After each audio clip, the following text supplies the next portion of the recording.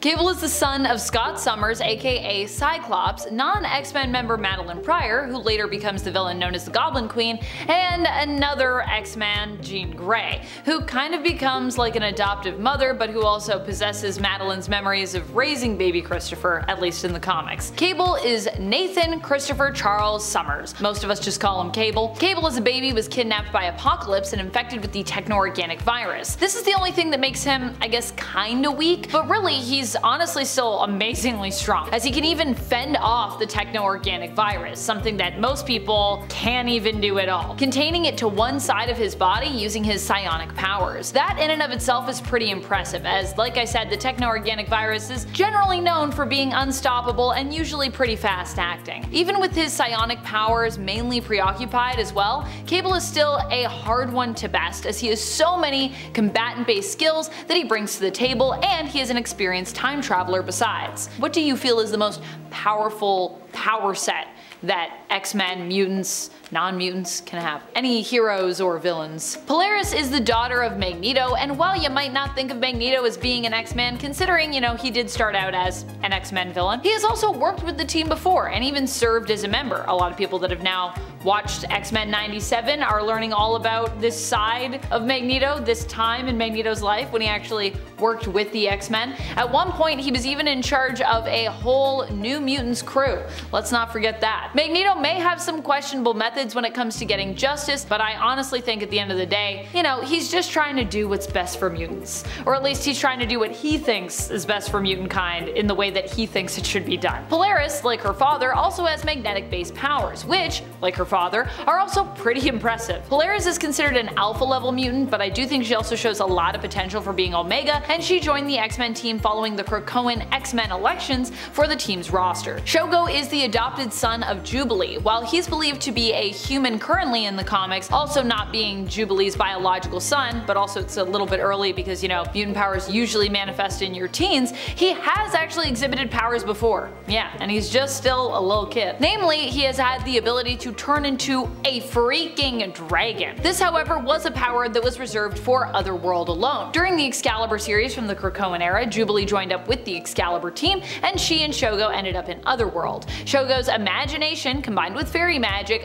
allows him to turn into a dragon while there. However, as I said, because these powers were brought on by that shift in location, Shogo himself only has this ability while he's in Otherworld, so it's limited, you know? And it's also, I don't think it's controllable, I think it just happens. Controversial take, especially because he is a child of two villains, but I wanted to include Graydon Creed on here because I do feel he's underrated and he is powerful in his own way, at least in terms of how dangerous he can be in the comics. Graydon Creed is not a mutant himself and is not a hero, but like his parents, he is of course more of a villain. But a villain who actually hates mutants, whereas, especially with Mystique, I feel like she's trying to be a villain to help mutants. He was strong from a young age, managing to find a way to survive at the age of 12 after his mother left him, coming to terms with the fact that Graydon would likely never manifest mutant powers and had instead been born, well, basically normal. Even though he's a villain, I feel kind of bad for Graydon Creed just based on how his life started out. It's pretty rough. He is the son of Mystique and Victor Creed. He is strong in terms of his influence and his refusal to stay dead. Graydon has been resurrected multiple times, and he also recently gained cybernetic enhancements that made him more physically strong as well. Olivier Raven is legally known as Olivier LeBeau, and is one of the alternate reality children of Gambit and Rogue. Honestly, I feel like there are not enough of these kids out in the multiverse. For a couple as famous as Gambit and Rogue, you would normally think that we'd have, you know, a ton of multiversal kids from them,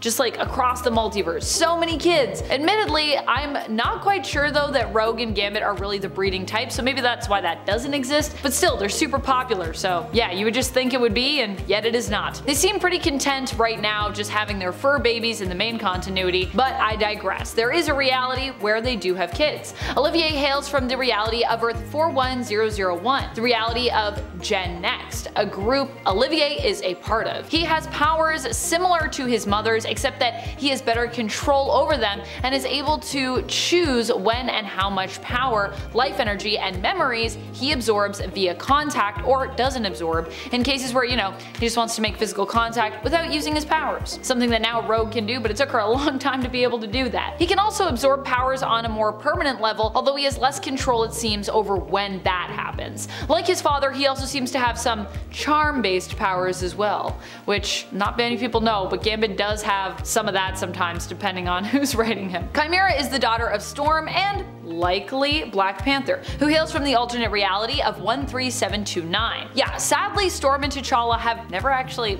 had a child together in the main continuity. I know, it's tragic. Unless they had a real secret one that, you know, we don't know about yet. You never know. You never know. Something like that could always be happening. Chimera seems to have inherited the powers of her mother, but also shares a connection to the earth which allows her to draw on and harness its energy. She's also a skilled tracker and can communicate telepathically with animals, pretty cool. I'd also assume, as you know, she is the daughter of Storm, that she is a skilled combatant as well. As while Storm is more well known for her goddess status and weather manipulation powers, she's also actually an extremely skilled fighter as well. Charles Xavier II is the son of Charles Xavier and Mystique, if you can believe that. I know, it's honestly, it's pretty shocking, but it is a thing. Charles Xavier II was technically born into the reality of Earth 616, where we later find out that while Mystique took the form of Moira when giving birth, Charles actually knew that, you know, he was in a relationship with Raven. She just chose that form while giving birth, so unlike many other instances with Mystique,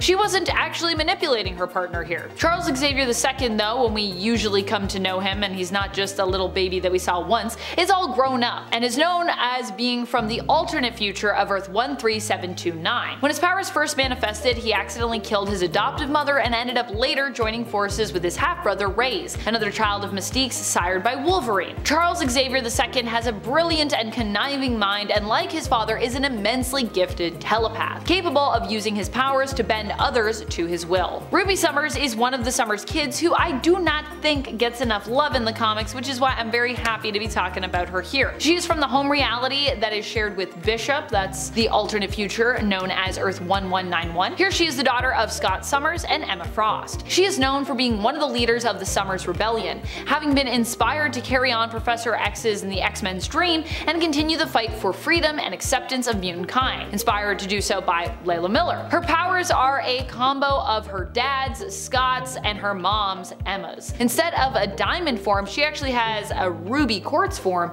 and can also fire optic blasts from her eyes. Like Emma while in her ruby form, Ruby is almost indestructible. She does not need to eat or drink when she's in her ruby form, and she also does not age either. This is also how Ruby appears to be so young, despite actually being pretty old. Proteus is the son of Moira MacTaggert, who before turning into a villain, I would have actually counted more as an X-Men ally, if not a full-blown member at times. Proteus is Kevin MacTaggert, son of Joseph and Moira MacTaggert. He was one of the members of the super important team on Krakoa known as the Five. The Five is basically a team that was brought together and had their powers utilized in tandem to resurrect fallen and lost mutants. His powers as part of that team are mainly used to warp reality, allowing the non-viable eggs that Egg produces to become viable for life. Proteus is considered to be an Omega level mutant that requires hosts to survive. Initially Kevin had a body but of course now he's just pure energy because he does burn through those bodies, making him not just a powerful psionic but also honestly a deadly energy vampire as well. Legion is the son of Professor Charles Xavier that was conceived when he had a love affair with Gabrielle Haller, which is where Legion gets his legal last name as his given name is David Haller. Legion is so powerful because he suffers from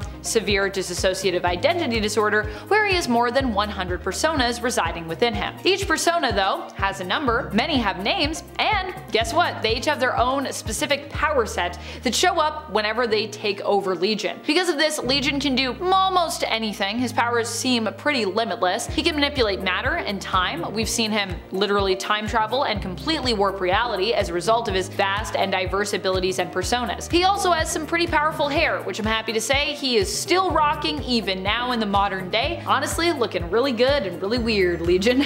That's about it. I'm your host Amanda McKnight. Until next time, you stay nerdy YouTube. Bye!